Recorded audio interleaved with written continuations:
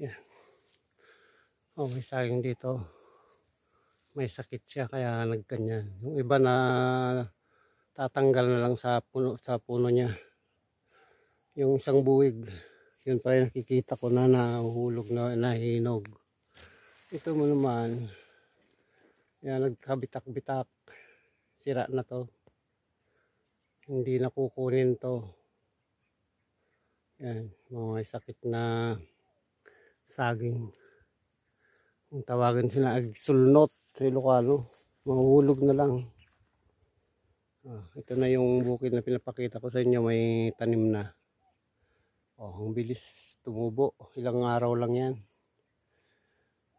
Oh, yung bukid na hindi malusungan ng kalabaw o traktor, rotor, kuliglig, kung tawagan yung rotor na maliit.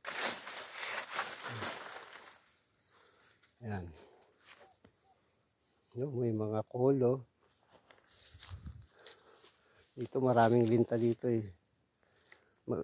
Subukan natin magtawag ng linta. may, may linta dito eh. Yan. Magtawag tayo ng linta.